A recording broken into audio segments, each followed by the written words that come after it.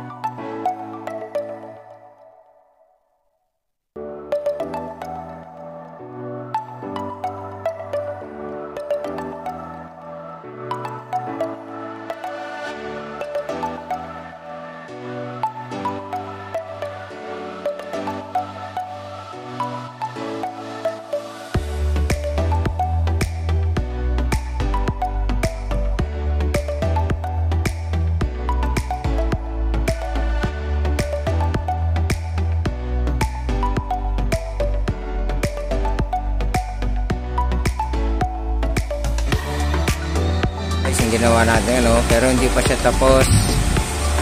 Hindi pa tatapos at po mayroon pa tayong mga details nilalagay dyan. Tatapusin pa natin yan.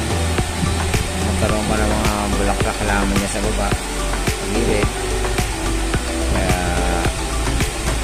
kaya pa baka may dagdag pa ako dyan. Kaya ito lang muna ang ating papakita. Pero sa araw naman tapusin ko muna umuulan umuulan din sa amin. Kaya tapusin ko ito sa araw. Nangyara ng konti. Kaya na yung ating ginawa. Hindi pa natin tatapos. May detalye pa yung gagawin. Ilalagay pa ako mga ibang ano dyan. Bubuhayin ko pa yung mga bato-bato na yan. Guys yun lang po. Muna tayo. Thank you